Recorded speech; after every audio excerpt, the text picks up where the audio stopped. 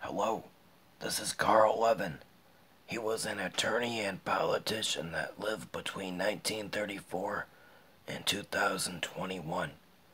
He served as a United States Senator from Michigan